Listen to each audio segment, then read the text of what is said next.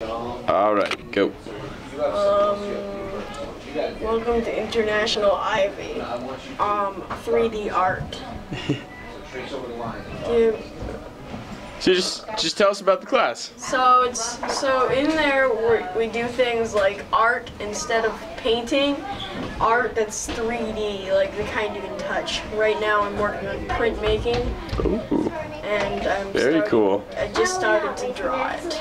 Oh yeah? What have you guys done the past few days? Past few days, Monday we did bee mosaic. Tuesday we did. Uh, sorry about it. No, no worries. I was trying to remember. I forgot what we did Tuesday, but after that we started. The, oh, Tuesday was clay. Then Oh. Fox stuffed animal, which the teacher is finishing up. Uh, Very right cool. just started printmaking. Nice. So you like the class? Yeah, it's very good. All right, perfect. Thank you.